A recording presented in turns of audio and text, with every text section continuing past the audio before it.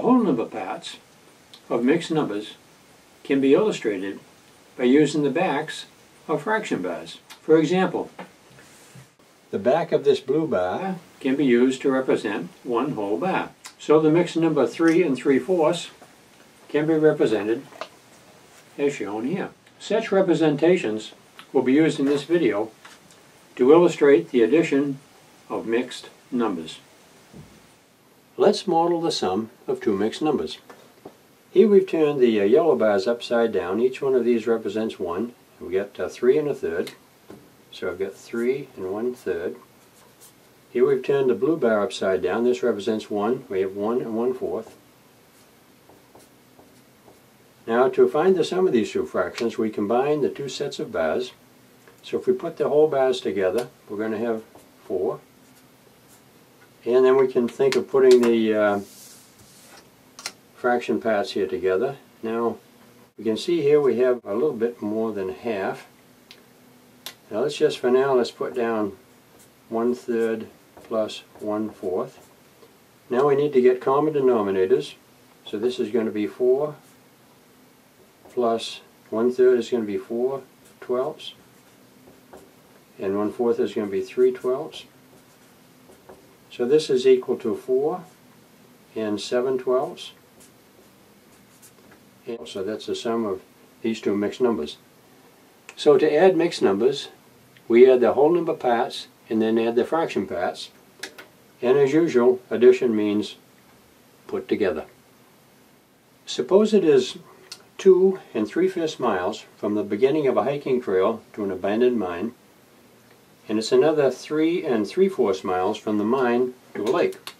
So we've got two and three-fifths plus 3 and 3 fourths. So we want to get the uh, total distance. So we combine the uh, two sets of uh, bars and we're going to have 5 whole bars. And now we could think of combining the uh, shaded amounts of these bars and we're going to have more than one whole bar.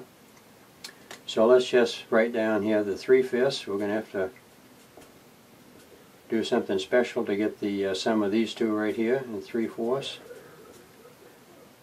We're going to have to get common denominators, so this is going to be 5 plus, the common denominator is 20 here.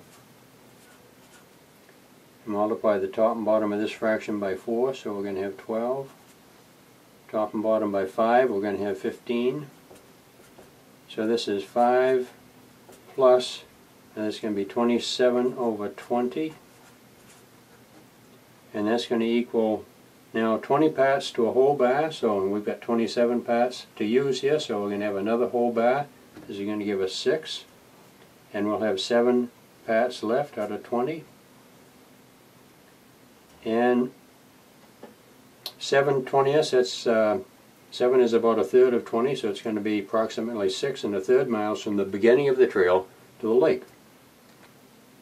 So we've seen two examples now of adding mixed numbers where we combine sets of bars for those numbers. Now do students really need this kind of simplicity, especially for combining whole numbers?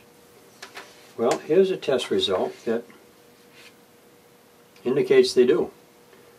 Now this uh, question, compute the sum 2 and 2 fifths plus 5, was given to 13-year-old students across the United States.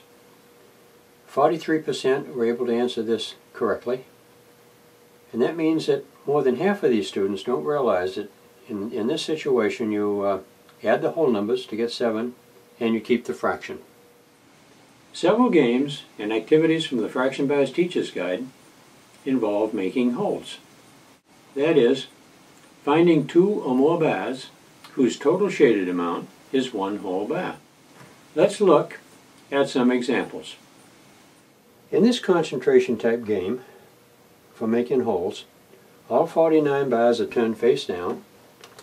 In turn, each player turns over two bars, and I'll try that here, tries to make a whole.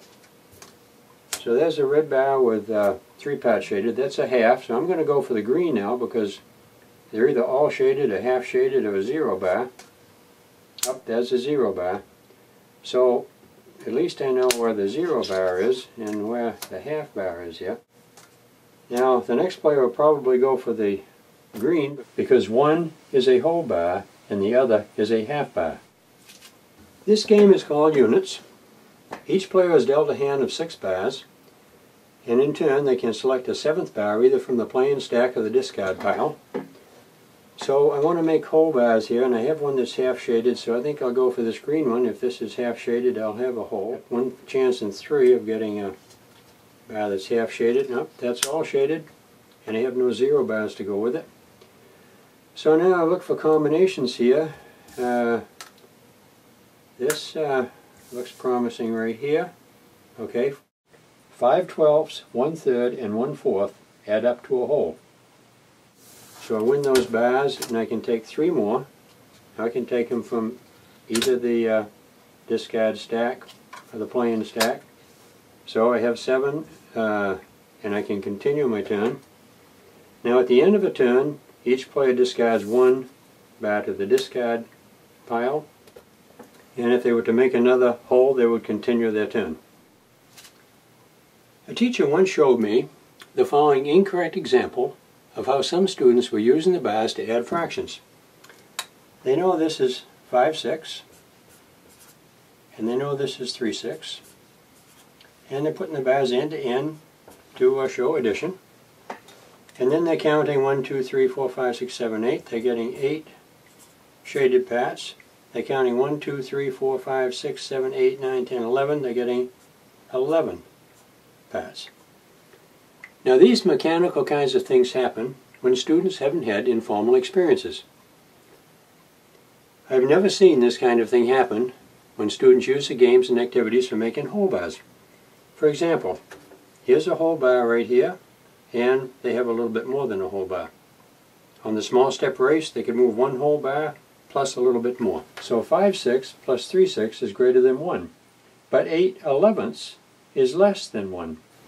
We must resist the urge to rush into equations and abstractions before students understand the concepts informally. Fraction Bars Blackjack is another game that is popular with students. The bars are spread face down. Each player takes one at a time, adding the fractions to get as close as possible to a sum of two without going over. So for example, here's a bar that's half shaded. Now I have no idea what these bars are.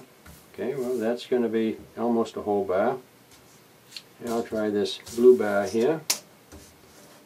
Now, there's a whole bar in four parts out of 12.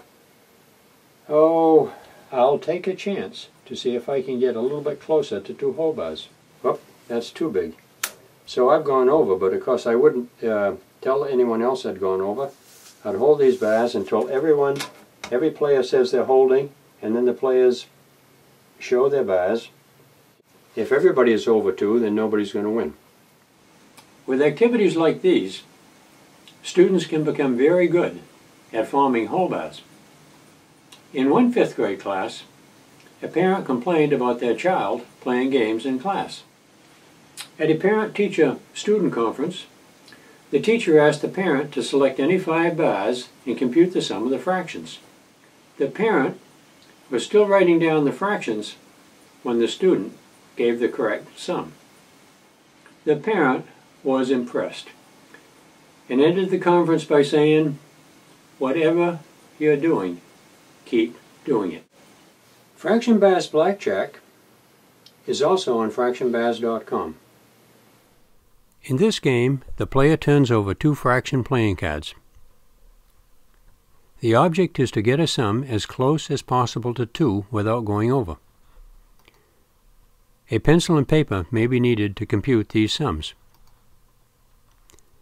The player competes against the computer, and the greatest sum, that is not over 2, wins the round.